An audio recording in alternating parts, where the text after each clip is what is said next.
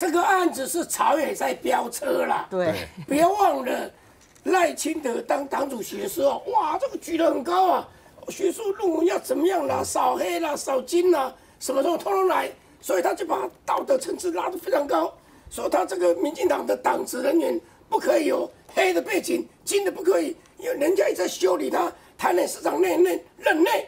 里面现在来讲88枪那个时候了八枪跟他有关系啊，这个亚光电的事情跟他有关系啊，所以他就把这个拉得很高，拉得很高就变成说，哎，只要你洗钱，还有其他的，一辈子不可以参选。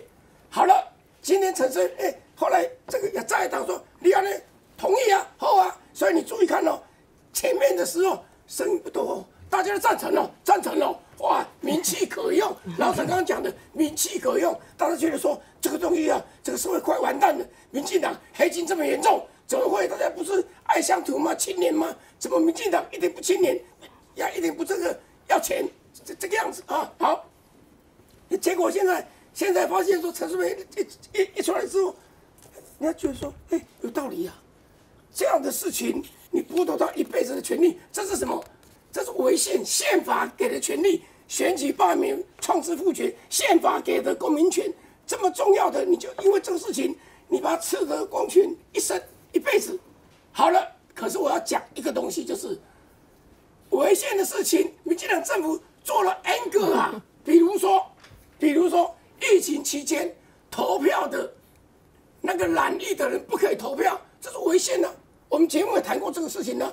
那些人染疫的人可以参加去考试，国家考试可以去考试分开，但就是不可以投票。为什么？他们算过啊，公安的查差不多几十万票啦，十几万票啦，啊，这个算一算啊，这个不要给面的回来，台上不要回来，算一算，这样可以少多少？这些人都不会投我的票，所以这些人票扣一扣。他是这样算的。染疫的人因为气我口罩不够，对疫苗不够，所以生气的得病了不会投我，他已经这样算。那一些老实讲就是违宪，大大的违宪。最大争议是陈水扁出来爬爬照了，这告诉澄清了。来，你说，因为行政院版是明定国安犯罪、黑金枪徒重大犯罪、贿选，还有重刑这四类不得登记嘛。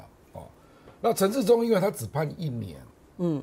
啊，可是他卡到了罪名是洗钱，嗯，所以陈水扁就说这个完全不成比例嘛，啊，那这里就有一些问题就会出来，就是因为这个洗钱听起来很难听嘛，那你觉得性犯罪不难听吗？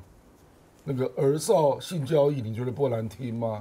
那那些你为什么不禁止他来参选呢？我比如我认为强暴罪很严重啊，殴打父母也很严严重啊，家暴也很严重啊，哦，为什么独列这个？